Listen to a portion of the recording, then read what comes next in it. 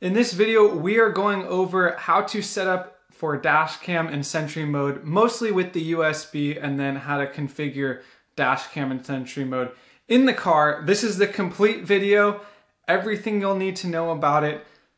Let's rock and roll. It, right through the gray.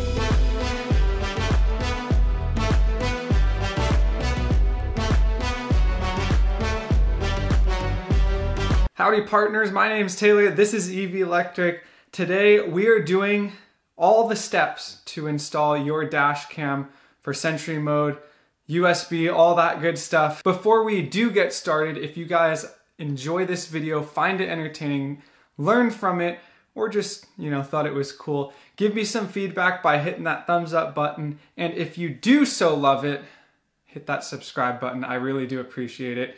All right, so to start this, we are going to go over a couple things, and that's going to be the USB setup on your computer, and then the file configuration for that USB, and then we are going to put it in the car and have at it. So, some things for USBs you guys want to know is that these two are totally different, even though they might be the same internally. One is very easy to see and looks very flashy, that would be this one. And this one looks very low key. Let me, let me hold that up there. This one looks very low key and is much harder to see. You might ask why am I even talking about that? Well, a very common thing these days is that people will go in and they'll see a USB plugged in and they'll see Sentry mode on your car and they think, oh, he must be recording. When they raid your center console, they might just find this bright colored big USB and they might just yank it out and step on it or take it. So just another extra precaution if the person doesn't know what they're doing. It's always nice to have a very dark colored, really small, just be low key, you know, you don't want to show off that you're you've got a USB under there. Or now for the formatting process of these USBs, there's three things we're going to go over. Two of them are Windows 10, and that's going to be if you are 32 gigabytes and under, that will be the first thing. And the second one is going to be if you are over 32 gigabytes, um, you are going to want to check out that second part. I'm going to have time codes down below, and then the third one is going to be for the Mac users as well. And after those, after each video, I'm going to explain uh, just the file format and you know the file you need to make so the car knows what's going on. Super easy, super simple, you guys. Really just format it, plug it in, it's good to go. Let's do some of those videos now, and then we will hop in the car and quickly set it up for you guys. All right, so we've got the USB in the computer. This is for anything 32 gigabyte and under, by the way. We're gonna get to 64 or 32 or higher on Windows in just a second. So let's go here. This is the USB we wanna do. If you are 32 gigabytes and under, we are just gonna hit format like this, and you are just gonna have it set to FAT32, and you are gonna hit start. Also, check quick format if you just want this to go faster. It's like instant. And then hit start.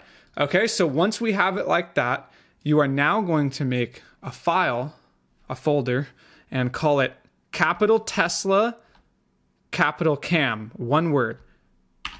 Tesla with a capital T, Cam. Done.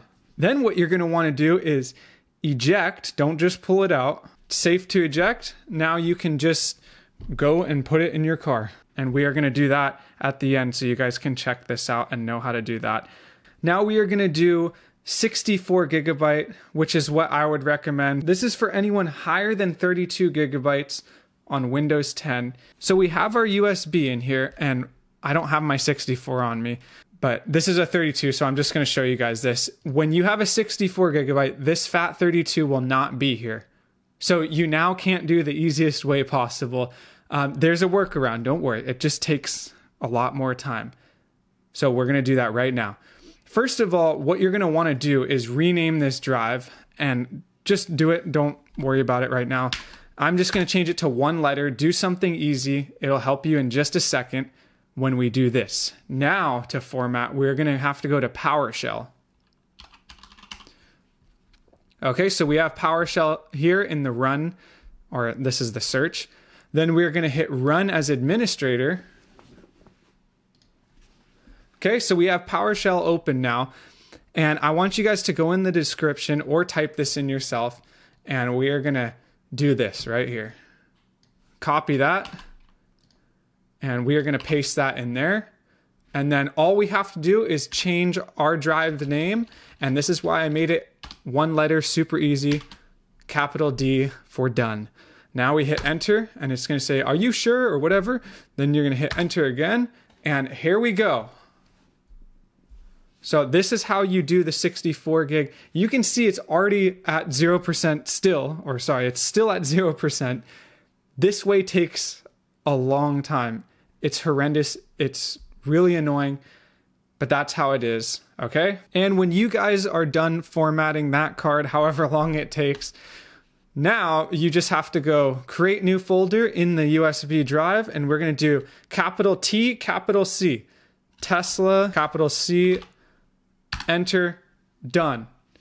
Then you're to go to the drive, right click, eject, get it out of the computer, and then bring it to the car. So for Mac users, plug in the USB. Then we are going to go to the search bar and type in disk utility. And hit enter to open that up. Once that is all loaded up, you're going to click on the drive that you want, go to erase, make sure it's on MS DOS FAT, which is Mac's version of FAT32, and then you are going to hit erase. Erase. And then just to confirm, you can right click get info. Make sure it says that for the format right there. Once you are confirmed and you know that, then it is time to right click, new folder, and the same deal. We're to do capital Tesla, cam, capital C, one word, enter. Then we are going to hit eject out here because we are safe ejectors here on EV Electric. Eject that. It is time to put that in the car now. Here's the center console. If you don't know what that looks like because it's a weird angle. Um, I've got my recently formatted USB right here. And open up this thing too. We've got them opened up and you'll notice right here that this cord is already here. That is for my cell phone. And this side, this whole left side, the driver's side, does not have data capability. So just know that. So if you plug this, know, on that driver's side, you are not even doing any data. It's not even connected to the car um, computer system, as far as I know. So what we're going to do is with this freshly formatted and correct file USB, we are going to put it in the right side or the passenger side if I can do it correctly. Okay, once you have the dash cam in, you are basically good. You can now access the dash cam viewer now if you just hold it or push it down, sorry, and you can do stuff like that. Um, while you're driving, you can just hit this, tap it, and it'll save the footage. It won't do, it'll only do this in park. And then what I would probably recommend is for you guys to just go here and just make sure everything's set up under safety and security and then we are going to go to Sentry mode and make sure you have everything set up properly because it's important to have it set up now so you don't get screwed later. For example, having it off at work or something like that and then something happens. Um, but as of right now, you are good to go dash cam wise. When you park, you just tap that. Sentry mode is on. You are now recording. You are now writing and overwriting data. So keep that in mind. Also keep in mind, you guys, that the dash cam saves the last 10 minutes of footage. So that is really important. Um, it'll also save before, but generally it'll save the last 10 minutes when you go like this and you hit save footage. And you can find those other ones, but it's not a guarantee because it constantly rewrites data that you don't mark as saved. Um, another thing is that all Sentry mode footage is saved. I don't know if they do this now, but I'm pretty sure all Sentry mode footage is saved when you get an alert here and it stays in there. So that's another time if that fills up, you're to have to go in and delete them and re- possibly reformat. Well, that is it, you guys. That is how you install Sentry mode dash cam, get that USB going. It's pretty simple, huh? It's just a couple steps you need to know and remember. Uh, one final thing, just remember how to do these formats and maybe um, save the way to do it because you are probably going to do it quite often throughout the life of the car, whether you're changing USBs or pulling it out or whatever you need to do. You know, just know how to do it. And then after you set up the stuff in the car you like, it's just plug and play after that. You just will reformat, plug it in, and you are good to go. So thank you guys for watching. I will see you in the next video.